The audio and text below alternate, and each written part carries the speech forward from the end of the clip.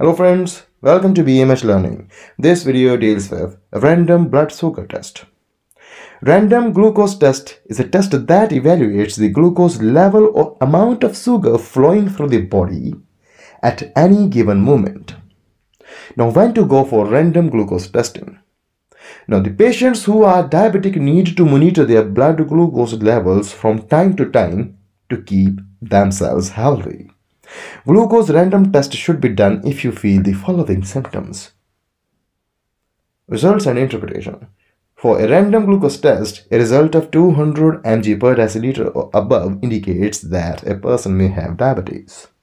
And in order to help confirm the diagnosis, the doctor may also order a different type of test such as a fasting glucose test or an OGTT. This was all. Thanks for watching.